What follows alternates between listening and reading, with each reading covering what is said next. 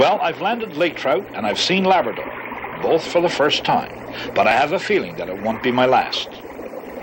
I have also experienced the thrill of catching my first northern pike, but most of all, Bryce and I have had a fantastic Labrador holiday.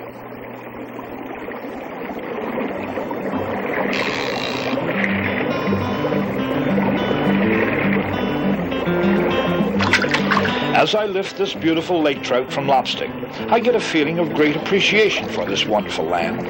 Our province, with its 150,000 square miles of magnificent wild country, gives me a chance to enjoy moments like this. Moments that cannot be surpassed anywhere in the world. I've always been happy and thankful to be alive. But at no time do I thank God more sincerely for my chance at living than right here in this wonderful Newfoundland outdoors.